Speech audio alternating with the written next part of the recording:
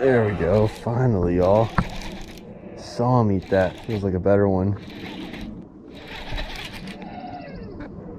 Oh my god, back in the night. yeah, pretty good one. Best one for me in a while. Finally, dude. Holy smokes. It has been a minute, y'all. Just need to turn around. Yeah. Yeah, that's a pretty decent one. Alrighty.